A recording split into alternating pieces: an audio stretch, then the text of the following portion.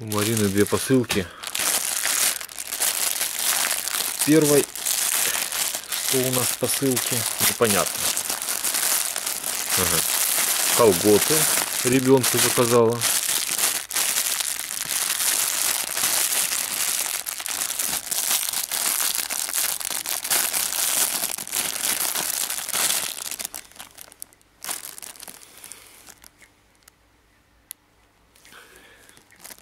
Наверное, на утренник.